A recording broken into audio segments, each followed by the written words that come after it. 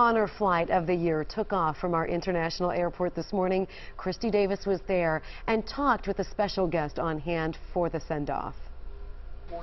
These men and women have taken long trips overseas before to fight on foreign soil. Well, it's been a long time. Today, Army veteran Donald Woodall joins his fellow Korean War and World War II veterans on a shorter journey this is the first honor flight of the year. These vets go to Washington, D.C., and there they'll tour memorials of theirs and other wars.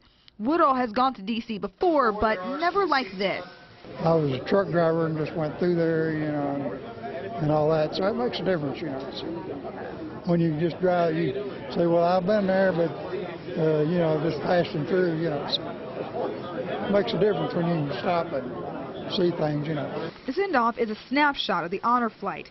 Congressman Brad Wenstrup normally meets them in D.C., but today he's here to see them off. I think it means a lot, and I think it's something that we have to continue to maintain for as long as they are alive.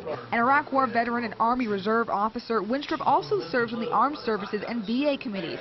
He says honor flights are a good start, but the country needs to go further to protect veterans.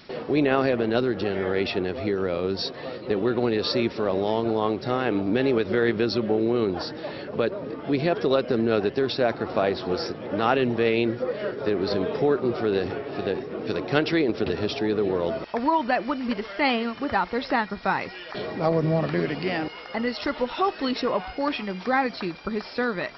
At CVG, Christy Davis, WLWT News 5.